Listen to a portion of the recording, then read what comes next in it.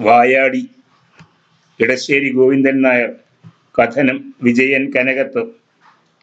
മുറ്റത്തു നിൽക്കുന്ന കൂറ്റൻ ബിലാവിന്റെ കറ്റത്തണലിൽ ഉരാത്തിടുമ്പോൾ വീണു കിടക്കുന്ന സൗവർണ ശില്പക ശ്രേണി പെറുക്കി കളിക്കൽ നിർത്തി.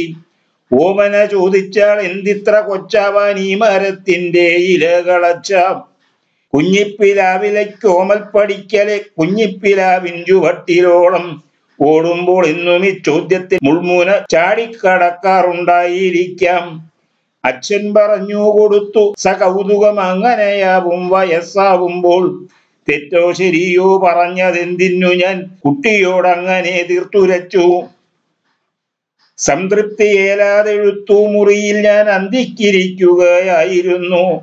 മാമല പോലെ മഹാസമുദ്രം പോലെ മാഹാത്മ്യമുറ്റൊരു സൃഷ്ടി ചെയ്യാൻ മോഹിച്ചിട്ടെന്റെ കുറച്ചീരടികളൻ മോഹശ്രമങ്ങൾ കിടന്നു മുന്നിൽ.